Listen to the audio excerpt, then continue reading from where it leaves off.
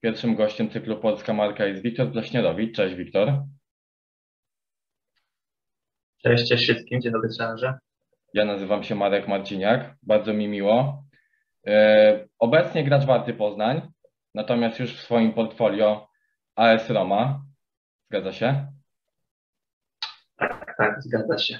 Zanim przejdziemy do y, tematu włoskiego, chciałem Wiktor zapytać, jak Twoja forma, jak Twoje zdrowie, bo wiemy, że wracasz do pełnej sprawności po ciężkiej kontuzji i, i jak się masz po prostu?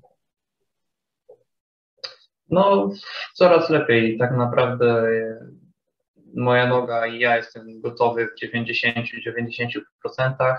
Teraz już robię wszystko, żeby, żeby być na 100% na okres przygotowawczy od, od czerwca i, i na tym się skupiam, żeby przyszły sezon był dla mnie e, bardziej owocny i szczęśliwszy niż ten, co, co właśnie powoli mija. Z debiutem w Ekstraklasie. No mam taką nadzieję, że, że, że w końcu jedno z tych marzeń się spełni, jakim jest też debiut w Ekstraklasie, bo, bo na razie mam do tego trochę, mogę tak powiedzieć, pecha i, i no mam nadzieję, że karta się odwróci i, i będę mógł w pełni, pełni pokazać swoje możliwości na, na, na najwyższym szczeblu w Polsce. No dobrze, Wiktor, przejdźmy do głównego wątku naszej rozmowy, czyli Twojego pobytu w AS Roma. Jak tam w ogóle trafiłeś? Wiemy, że Roma to jest taka swego rodzaju kuźnia włoskich talentów. Nie trzeba wymieniać Francesco Tottiego, Daniele De Rossiego czy naszego y, Nicole Zalewskiego. Ale jak to się wydarzyło, że, że zostałeś piłkarzem tego klubu? No to była taka dosyć spontaniczna jakby powiem, decyzja i w ogóle sposób, w jaki się dowiedziałem o tym, bo y, pamiętam, zac zaczynał się sezon, to po rozmowach tam z menadżerem, z rodzicami i tak dalej, doszliśmy do wniosku, że, że jeszcze na co najmniej pół roku zostajemy w Lechu, żeby, żeby cały czas trenować w pierwszym zespole, grać w dwójce, w rezerwach i, i gdzieś może później ewentualnie pomyśleć o wypożyczeniu i w ostatnich dniach okienka, pamiętam, zszedłem z treningu do szatni, spojrzałem w telefon i był SMS od menadżera i parę nieodebranych telefonów, e, żebym odzwonił, bo ważna sprawa. Od razu wyszedłem z szatni na, na korytarz, odzwoniłem i, i mi przedstawił sytuację, że, że jest opcja wypożyczenia na rok do Romy.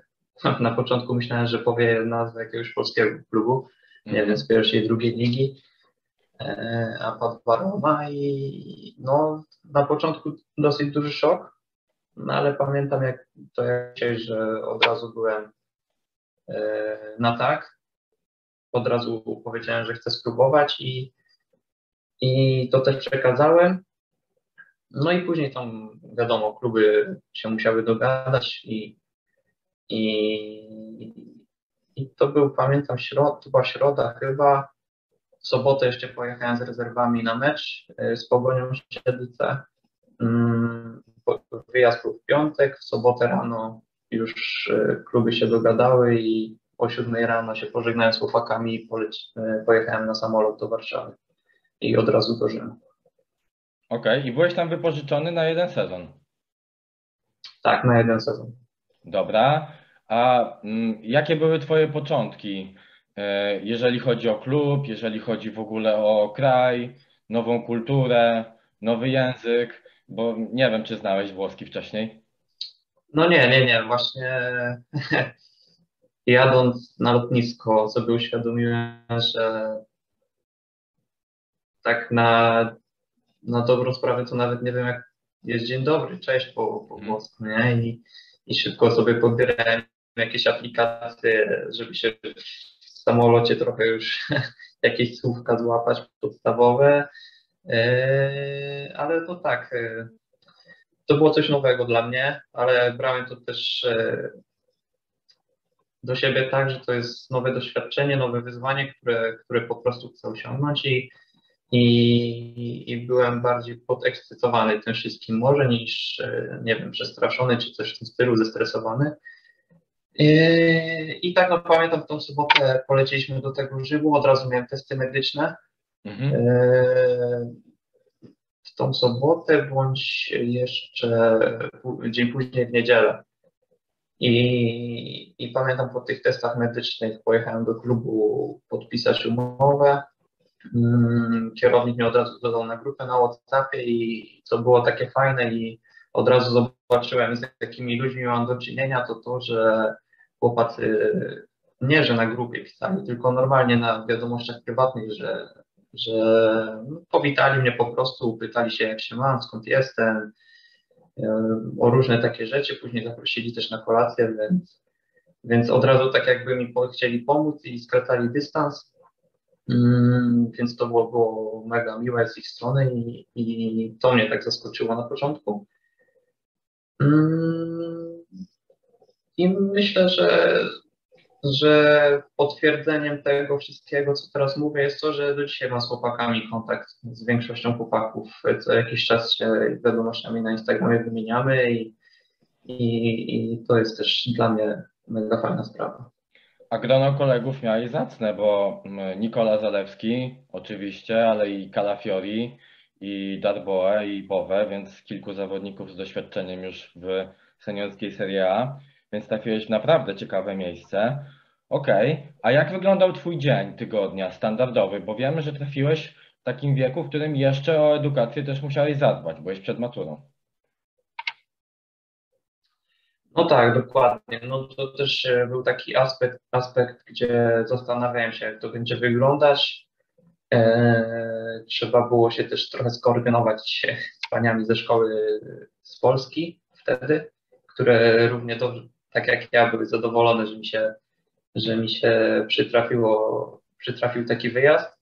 No aczkolwiek no, uczyć się trzeba było, bo chciałem zdać maturę, a nie przekładać ją o kolejny rok, e, bo chciałem mieć to po prostu za sobą jak najszybciej. I, i mój plan dnia wyglądał tak, że no rano, rano wstawaliśmy, e, śniadanie o 10 trenowaliśmy, o 13 mieliśmy obiad, wszyscy razem w, w akademii, w internacie i od 14 do 18 chłopacy szli do szkoły włoskiej i to jest tak jakby w tym wszystkim, to jest wszystko w tym ośrodku Trigoria, w Trigori.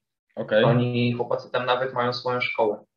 I nauczyciele z zewnątrz przyjeżdżali tam do tej szkoły i oni po prostu z internatu trzy minutki spacerkiem do tej szkoły sobie szli i, i, i ja z nimi musiałem tam chodzić.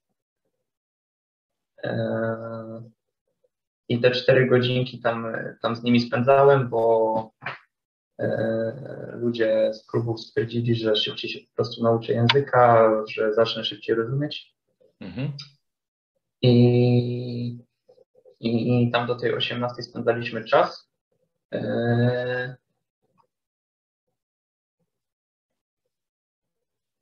Nie wiem, słychać, słychać mnie było? Tak, tak, oczywiście. Okej.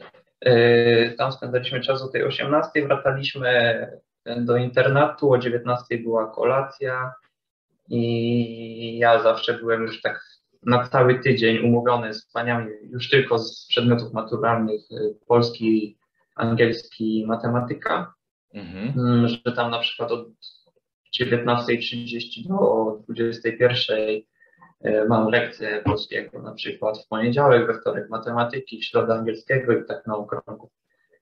Że, więc tak, tak naprawdę mój dzień się kończył 21, 21.30 zwykle. I no to wtedy był taki dosyć intensywny ten czas. Okej, okay, a miewaliście podwójne sesje treningowe? Nie. Y tylko trening rano? Odkąd tam przyszedłem, trening rano był tak, tylko rano. Przyszedłem tam, jak w drugiej lidze, w sensie byłem po okresie przygotowawczym w Polsce, w drugiej lidze już chyba zdążyłem trzy mecze zagrać w rezerwach i poleciałem tam do Rzymu, to szedłem w y, przedostatni tydzień okresu przygotowawczego. No i, i już wtedy były, był jeden trening dziennie, więc, więc tak to wyglądało. No jeden, ale bardzo intensywny, co prawda, więc Okej, okay. dobrze, że nawiązujesz do intensywności treningowej, bo płynnie przejdziemy sobie właśnie do tego, w jakim środowisku treningowym y, y, funkcjonowałeś. Alberto De Rossi, To był twój główny trener, zgadza się? Tak, tak, tak. Prywatnie ojciec Daniela De Rossiego Tak, i wieloletni trener drużyny Primavera, dokładnie. czyli kategorii do lat 19.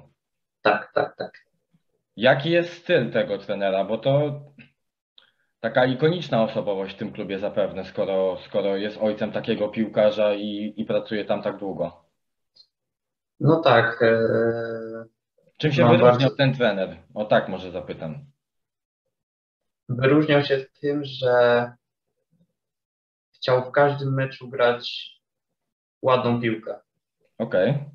I przez to, że chcieliśmy grać ładnie, e, widowiskowo, z polotem, e, chciał, żeby, zawsze, żeby to jakby wynik był wypadkowa tych, to było wypadkowa tych wszystkich rzeczy. Mhm. I oprócz tego, co teraz powiedziałem, strasznie zwracał uwagę na takie aspekty taktyczne, szczegóły, e, ustawienie, poruszanie, ustawienie ciała. Mhm. E, W międzyczasie właśnie na takie te szczegóły zwracał uwagę i, i, i normalnie w treningu e, nieraz jednej osoby poświęcał więcej czasu na tłumaczenie, na pokazanie czegoś, danej sytuacji, e, żeby po prostu dana osoba się rozwijała i myślę, że to, to, było, to było mega fajne. Czyli taki pomocny. precyzyjny trener. Tak, tak, tak. No ale myślę, że to nie jest zaskoczenie, bo we, we Włoszech właśnie, właśnie e, słyszałem, że tak jest po prostu, że, że mega, mega dużo zwracają uwagę na te szczegóły. Okej, a jaką rolę dla ciebie personalnie odgrywał Nikola Zalewski? Czy pomagał ci w adaptacji, czy tłumaczył ci pewne rzeczy? No wiadomo, że, że jak się idzie do nowego miejsca, zwłaszcza za granicą, to fajnie mieć gdzieś, gdzieś tam w szatni rodaka. I, I tak, no nigdy z Nikolą się też dobrze trzymałem. Mieliśmy kontakt, pamiętam po jednym meczu, już nie pamiętam z kim, ale jeden z pierwszych moich meczów tam y, i świętej pamięci tata Nikoli właśnie podszedł do mnie, zawołał mnie pod, pod, y, pod kraty stadionu i dał mi swój numer, że, że jakbym czegoś potrzebował, to, to żebym zawsze dzwonił, czy, Mhm. czy jakbym miał jakiś problem w klubie, to, to on też postara mi się pomóc. Super. Więc no tak, odczuwałem, odczuwałem dużą pomoc, więc. A powiedz mi, a jak byś opisał sesje treningowe? Czym się wyróżniały w porównaniu z tym, co zostałeś w Polsce? I czy coś ciebie zaskoczyło? Mm, No myślę, że pierwsza taka różnica, no to nieważne było jakby czas y, w sezonie, trenowaliśmy cały czas tak samo praktycznie i zaczynało się to tak, że opiszę to tak jakby mecz miał być w sobotę. Mhm. Poniedziałek, wtorek, środa. Yy, Zawsze w te dni godzina, byliśmy podzieleni na dwie grupy i mieliśmy treningi na siłowni w te trzy dni. I to był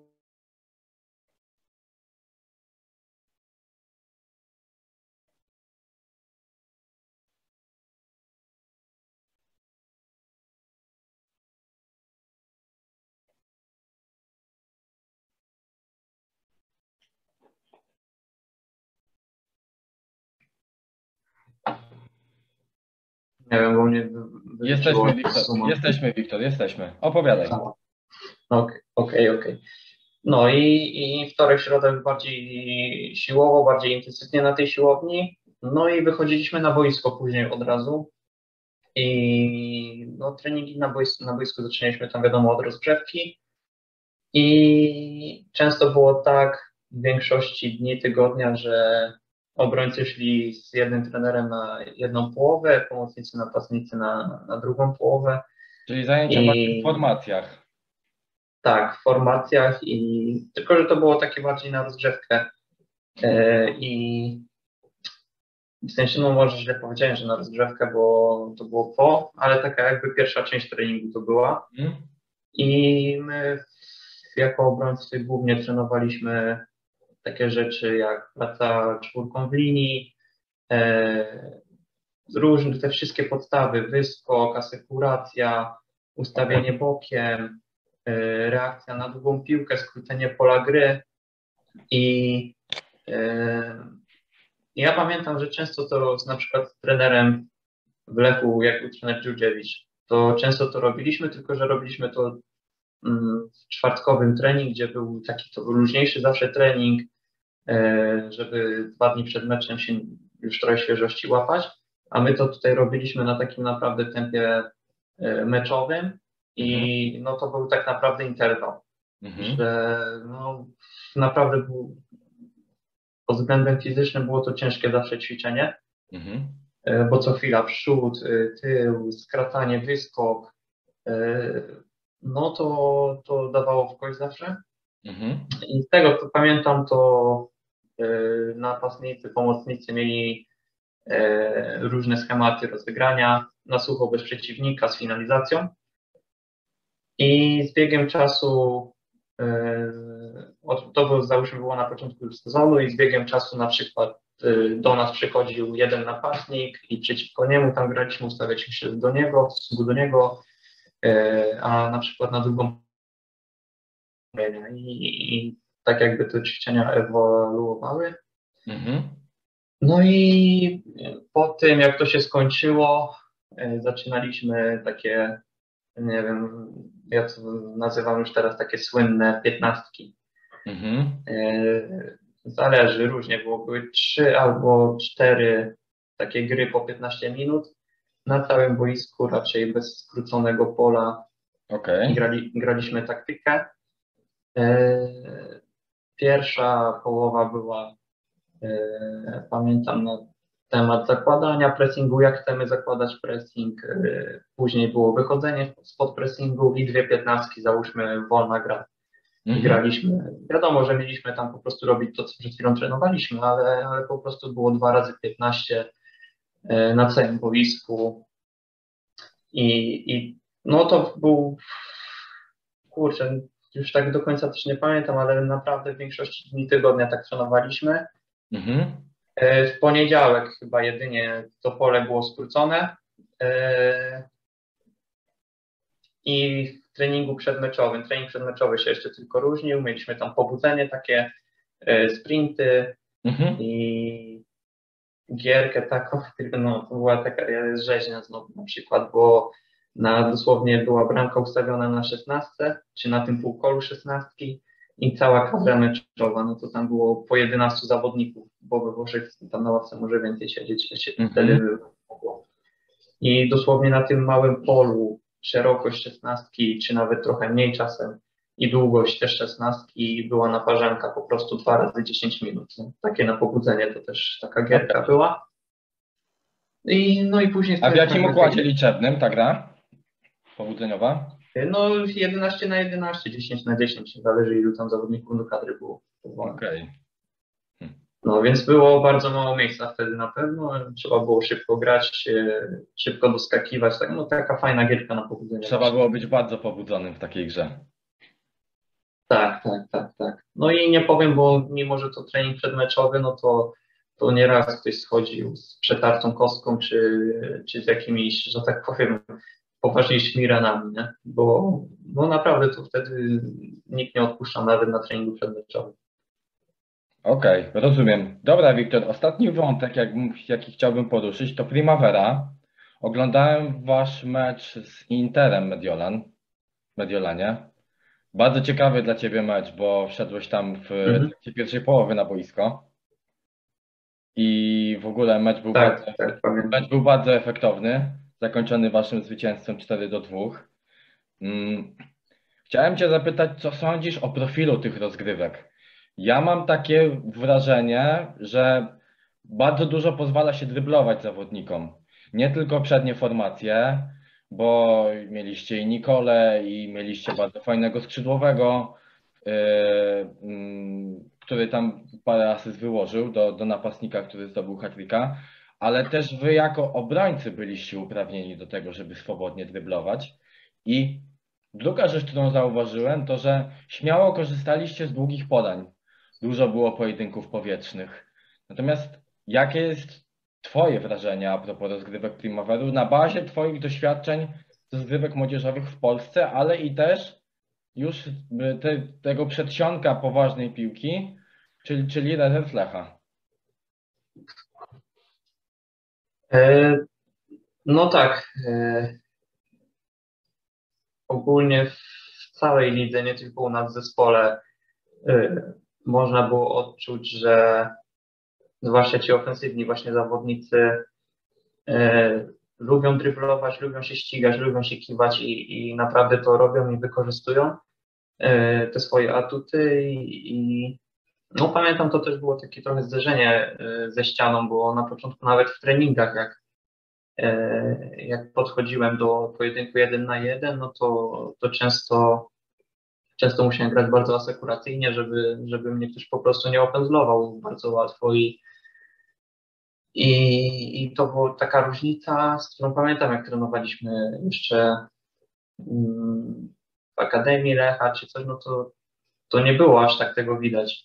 E, takich aż bardzo chęci może do tych driblingów, czy, czy, do, czy do pojedynków jeden na jeden i nie były one tak dynamiczne, naprawdę. Ja byłem na początku w dużym szoku, e, jak to szybko i dynamicznie się wszystko tam dzieje wtedy. I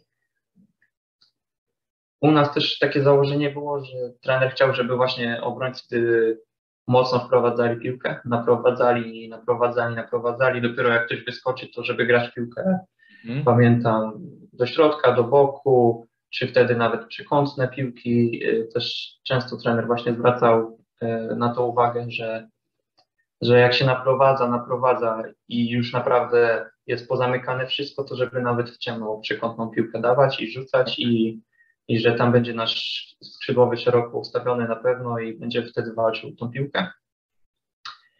I, i jeszcze był ten wątek tych, y, tych długich piłek takich. No właśnie mówiłem o tych przekątnych, ale też we Włoszech, nawet w tej primawerze, większość drużyn grało z mocną, wysoką, silną dziewiątką.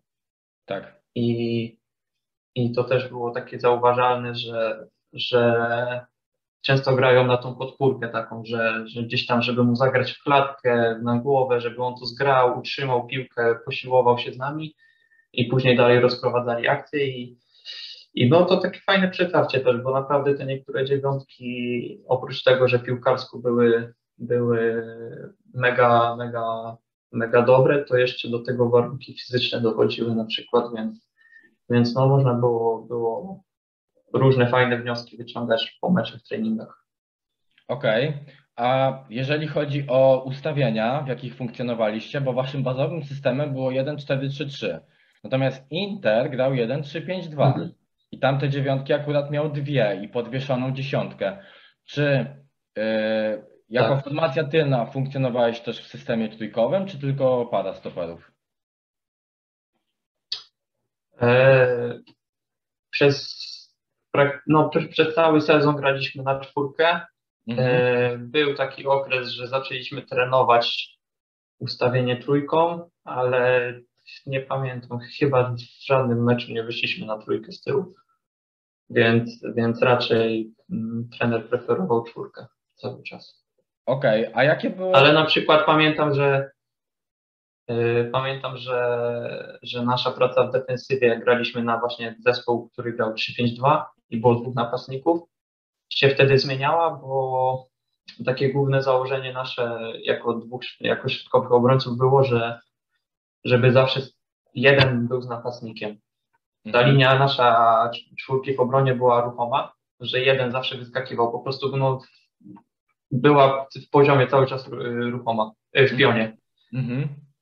I pamiętam mecz z Atalantą u siebie, co graliśmy, E, to był, to był na pewno mecz przed Interem. E, właśnie Atalanta też tak grała i my na początku, na początku nie mogliśmy sobie tego połapać. Mhm. I trener tam krzyczał z ławki, ja też tak wtedy średnio jeszcze rozumiałem. Okay. I dopiero w przerwie, w przerwie mi tam właśnie wytłumaczyli też po angielsku, że, że my jako dwóch środkowych obrońców cały czas we dwóch mamy stać przy, przy napastnikach. Mhm. I cały czas we dwóch wyskakiwaliśmy. Wiadomo, że co z asekuracją później też było robione, jak piłka była po jednej stronie, ale cały czas jeden miał stać z tym napastnikiem jednym, później drugi z drugim i cały czas tak, i cały czas w, w tym pionie, cały czas ta rotacja w pionie była i, i naprawdę wtedy, jak zaczęliśmy to stosować, no to ta Atalanta strasznie na początku z nami grała e, między liniami. I jak zaczęliśmy to stosować, to zaczęliśmy grać na wyprzedzenie i, hmm. i z przerwaniem, i z odbiorem, więc y, odebraliśmy im taki atut rozgrywania właśnie tym między liniami. Ogólnie biorąc też pod uwagę, wracając do profilu rozgrywek, mam takie wrażenie, że ta y, włoska Primavera jest bardzo intensywna, ze względu też na profil graczy.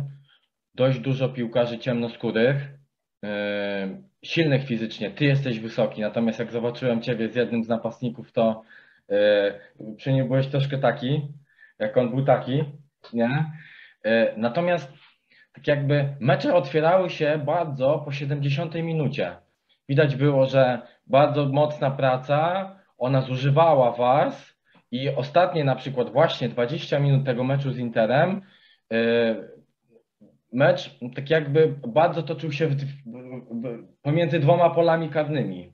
Nie? I czy tak było też w innych meczach, czy tylko ten jeden tak wyglądał? Nie, tak było właśnie w większości meczów. I to jest taka nawet uwaga którą zobaczyli moi rodzice, jak oglądali te mecze. Mhm. Że mówią, że i, ale się super ogląda y, te wasze mecze teraz, naprawdę, bo akcja jest z jednej do drugiej bramki. Mhm. I to rodzice, którzy rzadko patrzą pod jakimś względem taktycznym na mecze, jak oglądają, tylko bardziej patrzą, nie wiem, na mnie, na, na wynik, na właśnie takie rzeczy wizualne, że tak powiem. Mhm. A zauważyli to, co teraz trener na przykład powiedział, że, ta, że te akcje naprawdę były takie z jednej na drugą stronę i te mecze naprawdę były intensywne i faktycznie, no, pamiętam e, w tych meczach, w których grałem, no to końcówki były ciężkie, jeśli chodzi o aspekt e, fizyczny. Mhm. Często było tak, że schodziłem wycieńczony po meczu. Mhm. Mecz z Lazio, Derby della Capitale. Wiemy, że to wyjątkowy mecz we Włoszech. Czy on wiadomo, nie ma takiej samej atmosfery, ale czy daje się odczuć klimat tego y, derbu wiecznego miasta, że to są właśnie te wyjątkowe derby?